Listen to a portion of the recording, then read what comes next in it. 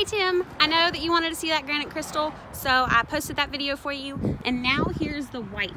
This is the white 2019 Ram 1500. It's a little bit different feature-wise, but on the inside, some of the features still remain the same. You can see there on the front, you've got those nice bright headlights. You come around to the side, and you've got a quad cab, so those back doors are just a few inches shorter um, than on the other one that we were just looking at. Right. I'm going to take you up to the inside here and show you a couple of the differences. All right, you still got that premium cloth interior here. You still have the 8.4 inch Uconnect touchscreen. There you go. You've got your climate controls there.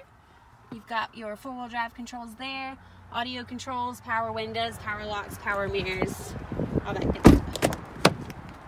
All right, here in the back, you can kind of see the difference. A little bit smaller, not much. You got the cup holder that still folds down there in the center. And then you've got your AC vents there. All right. And this is, again, this is the 2019 Ram 1500 still has that Hemi V8 engine and it's still four-wheel drive.